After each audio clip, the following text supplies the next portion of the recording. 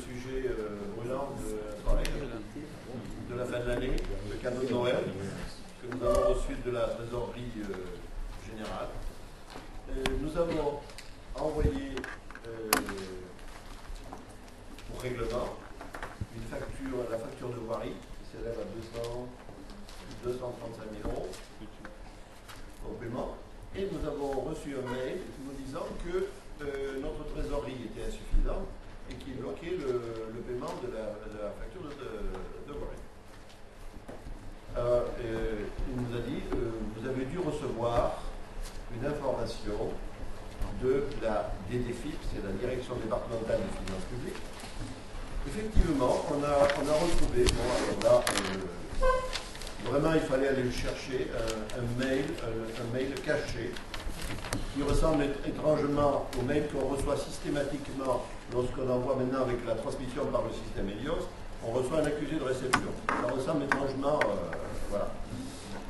Et euh, donc, dans ce mail, je ne vais pas vous le lire dans son intégralité. Euh, donc, certaines recettes prises en compte pour le calcul de... Alors, je précise d'abord, avec la réforme de la taxe professionnelle, euh, il y a eu la création d'un fonds national de garantie individuelle des ressources. C'est-à-dire qu'avec la réforme de la taxe professionnelle, il y a des collectivités qui sont pénalisées sur le plan financier avec des recettes moins importantes. Donc il y a ce fonds qui est abondé par les communes qui sont censées être plus favorisées par la réforme. Et euh, alors, euh, vous dire quel est- quels sont exactement les paramètres pour euh, calculer ces participations, euh, a priori, Jean-Louis, c'est le nombre d'habitants, c'est ça? Pour calculer le GIR. Ah ben, le GIR, non, non, le GIR, ça vient du- d'une situation qui a été faite en l'année 2010. L'année 2010 où il y avait encore la- les, les taxes ménages plus la, plus la une, euh, la réforme fiscale a amené des modifications en 2011. Donc, euh, avec la, la, la suppression de taxe professionnelle est remplacée par la taxe CFE, CVAE, super. Et donc, les, les, et il y a eu ça, et en plus, la taxe d'habitation est revenue complètement à la partie communale. Donc, le calcul été fait, en ce sens que comme on recevait plus de, d'argent par la part communale, même si on perdait pour l'ensemble de nos communes de notre professionnel, globalement, on était gagnant. Donc, ce fait dire été calculé de façon à ce que le moyen reste constant. Pour la majorité de nos communes, ça correspond à peu près, si vous voulez regarder, on était alors, s'il y a une variable qui, s'ajuste et qui est mal connue, c'est le CVAE, puisque le CVAE dépend de l'activité réelle de l'entreprise. Le CVAE, c'est la contribution sur la valeur ajoutée des entreprises. Donc lui, il va varier tous les ans, qu'il n'est pas lié à des- directement à des taux. De la, de la, de de. Donc il est lié, il est lié à leur, à leur activité économique, donc il varie en fonction de tous les ans. Pour information, le- les montants de CVAE versés à notre communauté s'élèveront à 16 263 euros. Alors, quand on a préparé notre budget, on, a- on avait reçu 15 29 de la qui prévoyait un GIR de 61 000 euros. Ces 61 000 euros qui se, qui se calculaient, ça devrait déjà par rapport à celui qui était prévisible avant la fusion, avant la, venue de Carsac. Donc on s'est renseigné, on a eu le texte de loi qui permet ce calcul, qui dit que, qui dit que le, GIR, est calculé en fonction de quand une commune quitte une communauté pour venir dans une autre, on, pr- on prend le GIR qu'aurait payé la CCPM à ce moment-là, c'est- l'intéressé tout seul, qui était de à peu près 45 000 euros, et on fait une proportion par rapport au nombre d'habitants qui sont donc. Ce qui, ce qui passer de 40, de 40, euh, 47 000. de 47 000 à Carsac, 61 000 13 000. euros. D'accord Donc ensuite, on a reçu en, en septembre, courant septembre, un mail du préfet, Non, pas un mail, non, un courrier du préfet, qui nous, qui, nous, qui nous disait que notre prélèvement GIR serait en fin d'année de 49 000 euros. Le prélèvement de 49 Et 374 nous, et euros. et nous donnait les modalités de ce prélèvement par quart de- sur les 4 dernières Voilà. années. Quatre mensualités euh, pour le 20 septembre, 20 octobre, 21 novembre, 20 décembre. Et le mail du 28 octobre a dit que le prélèvement GIR serait de Et alors, le, mail- donc c'était prévu, donc le- le préfet nous dit 49 374 euros, Et là, prélèvement GIR, 186 186 268. 268 euros. évidemment, euh, on a téléphoné tous les azimuts, j'ai téléphoné tous les azimuts, pour savoir un peu ce qui s'était passé. Et euh, j'ai eu enfin euh, l'explication ce matin, pour faire, Monsieur le Président, pour faire suite à nos échanges et à notre conversation de samedi dernier, je vous confirme la variation à la hausse, la variation à la hausse, en triple. Euh, par rapport à ce qu'on avait prévu au budget euh, du FNGIR de la communauté de communes du Carlucier Terre de Fénelon.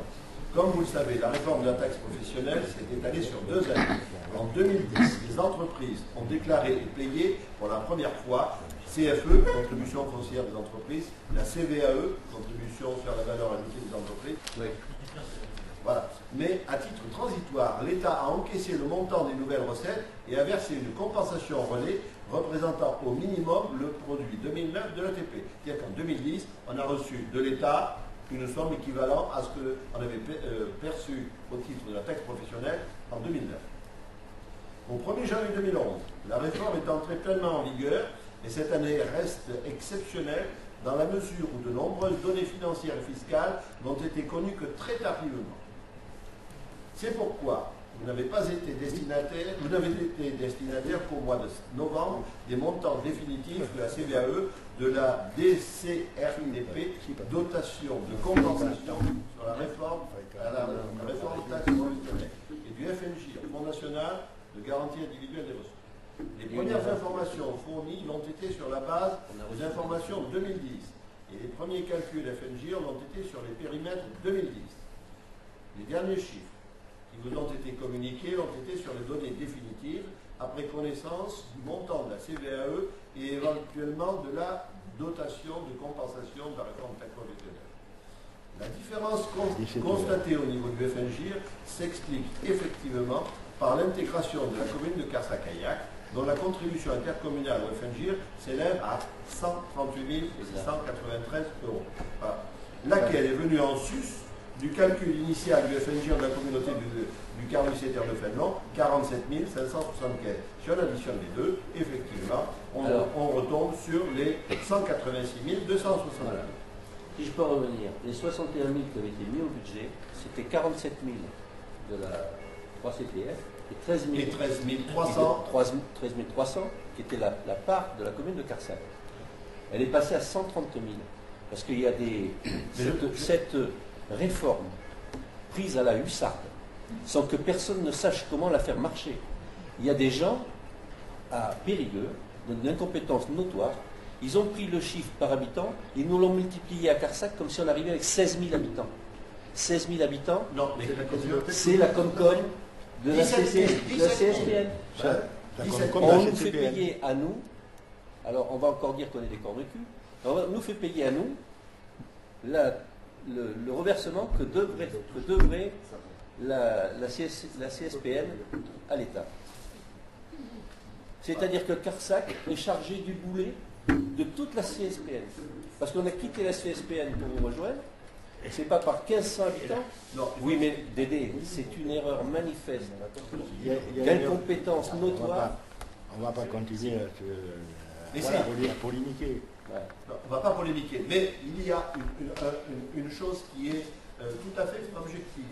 C'est que Carsac a été la population de Carsac a été comptabilisée dans la population de la communauté fusionnée Périgord Noir sans l'année.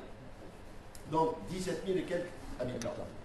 Ensuite, la part, une fois que Carsac a quitté la communauté croyant quitter la communauté du Périgord en fait, a quitté la communauté fusionnée.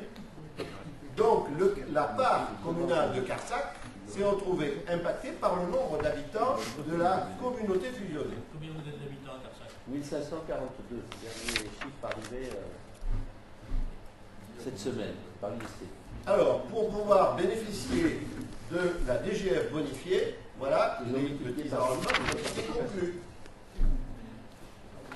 Voilà. Monsieur le sous-préfet de l'époque avait retardé euh, il faut dire que Carsac a demandé son retrait de la, commune, de la communauté du Périgord noir en juillet. Le préfet avait trois mois pour se prononcer et prendre un arrêté de périmètre. Il ne l'a pas fait. Alors, si on. Petite chose, je m'amuse avec ça. Oui. Si on, si on prend le calcul, si on prend Attaquer les l'État, 138 000 euros que paye Carsac, de- Ils de- sont 16 914. C'est ça, là. La mouche, ça fait la mouche. Si on prend les 138 000 euros, que, que- ce qui est la part de Carsac vraiment chez nous, et si on considère, s'ils étaient restés avec le, avec le ce que paierait le Sarladais, puisqu'on fait le calcul logiquement en tenant compte du nombre d'habitants qui sont. Si on fait le calcul, on trouve 1 580 000 euros de gire pour le Sarladais. Ils en payent en réalité 338 000. Donc, 338 il y a 686. manifestement quelque chose qui ne fonctionne pas. C'est- Voilà. On ne peut Voilà, pas, on il y peut a- pas dire autrement. C'est- c'est- Et- L'État leur avait annoncé 700 000 On euros. ne va pas ils sont tombés à Je 330 suis 000. pas d'accord. C'est-à-dire qu'il y a les services qui sont débordés, qui font des calculs qu'ils ne maîtrisent Et, et pas. nous, on a voulu aller trop vite. Non, Non, on non, on C'est la réforme de l'ATP qui est allée trop vite. Ah non, non. La réforme de l'ATP, On pas on On pas. pas- La réforme on de la pas TP. accepter ce, de fait là. Hein. D'accord, d'accord. Donc, les élus l'ont refusé, la réforme de l'ATP, se sont élevés contre, la plus grande majorité, parce que je vais te dire, les ressources, ça, ça les change et ça démotive à vouloir euh, constituer des, des- aider les, les entreprises. Ça, c'est un, en fait, C'est un fait. On s'est divisé par trois la participation des entreprises. Pas de toutes. Parce que là, maintenant, c'est le MEDEF qui s'élève. Parce que les gens reçoivent les notes. Sur la CVAE, la C- CFE et, euh, et les TASCOM, il y a des gens qui doublent leur contribution par rapport à l'ancien TP. Alors ceux-là, ils montent au créneau.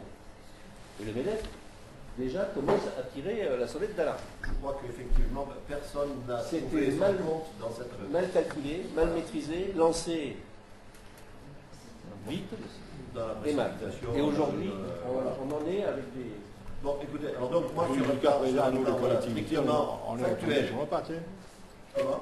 Nous, les collectivités, quelles qu'elles soient, vous êtes retombés sur vos pattes avec, avec, le la même chose. Que ce soit la TP ou que ce soit la, Mais pas nous. Des- Là, là, normalement, on devait avoir des recettes à niveau constant. Constant, oui. Dotation gelée jusqu'en 2013, mais euh, re- re- euh, recettes euh, constantes. Ouais. C'est pas du tout le cas. On, on augmente notre population de 1500 habitants et on se retrouve avec en fait. euh, euh, Voilà. Dédé, c'est pas parce qu'ils ont fait une, grave erreur que ça te, a posteriori, donne raison sur tes arguments d'il y a un an. Absolument. Euh, D'autre part, euh, sur les communes, on a été, nous on nous a annoncé, on avait mis au budget qu'on aurait 12 000 euros euh, à donner au FNJ. Après, on nous a dit qu'il y aurait euh, 20 000 euros. Et au final, on nous rend 2 000 euros. C'est-à-dire que les services de l'État ne savaient pas du tout. On nous a envoyé donc le 12,59 sur les tout le monde, 12 000 euros. Un courrier du mois de juillet qui avait encore plus, qu'il fallait qu'on prévoit euh, de donner encore plus. Et au final, en novembre, on nous rend 2 000 euros. Donc je veux dire, euh, où est-ce que... Bien sûr qu'ils savaient. Bien sûr qu'ils ne savaient pas. Bien sûr qu'ils Voilà. ne savaient pas. C'est pour ça Non, qu'il mais ne fallait pas-. Donc des, les- les Pour- Pourquoi de- la carte de- de- se fait maintenant C'est parce que avant c'était dans- dans le noir complet, c'est tout. Voilà. On s'est trop précipité, mais en fait, ça y est, on y est, on y est.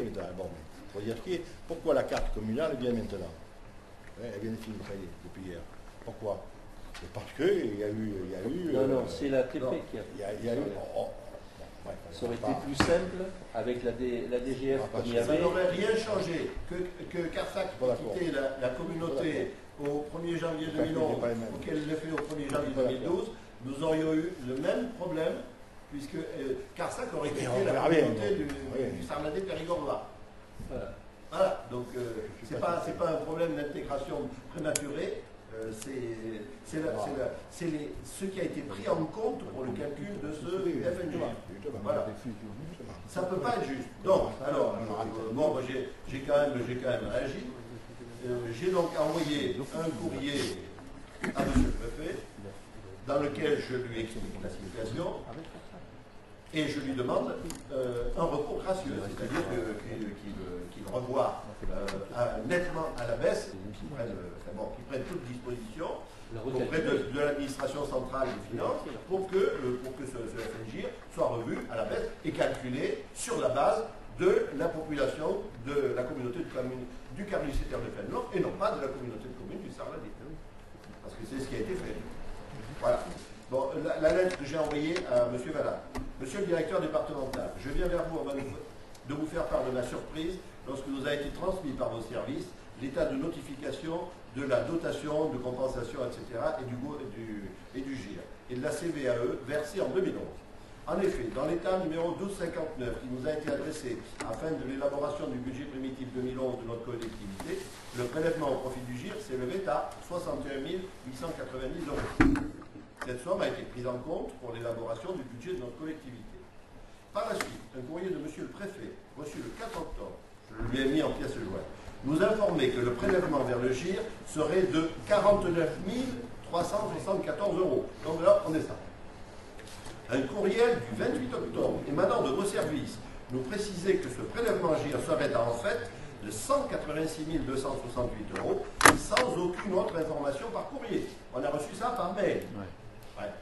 Bon, c'est la raison pour laquelle je m'adresse à vous aujourd'hui afin que vous m'informiez de la raison de ce triplement du prélèvement GIR et du mode et des éléments de calcul qui ont permis d'établir ce montant.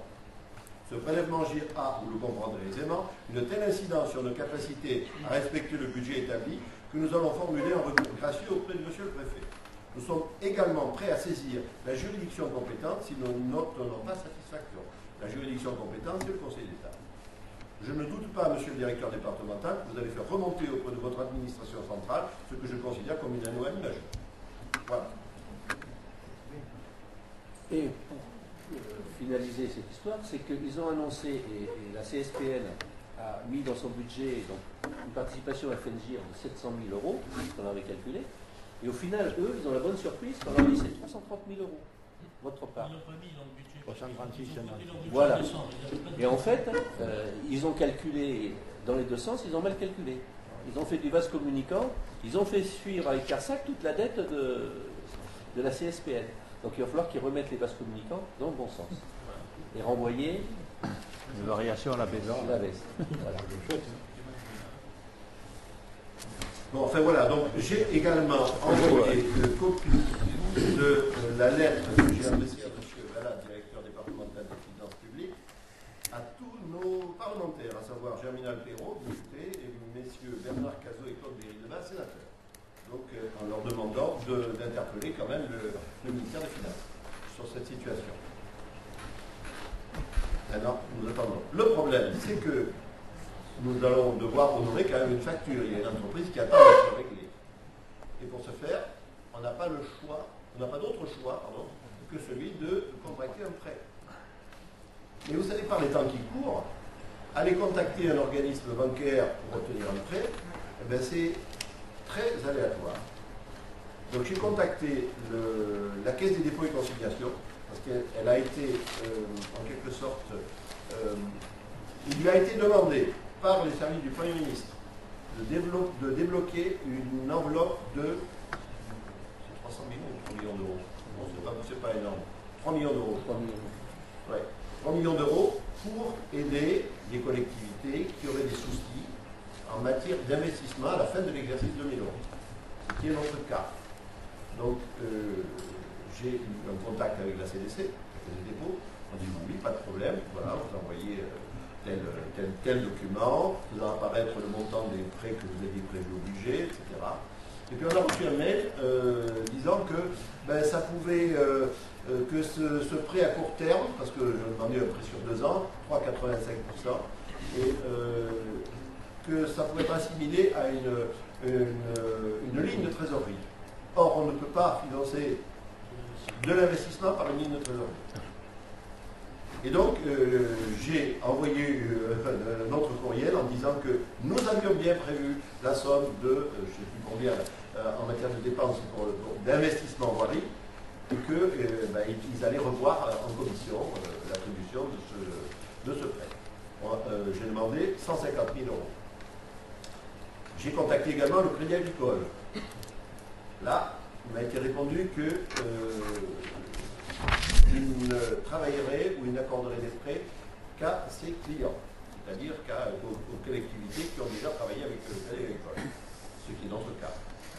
Obtenu un prêt, sur l'achat de, sur le remboursement de la dette auprès de la CCPN, Centre de loisirs.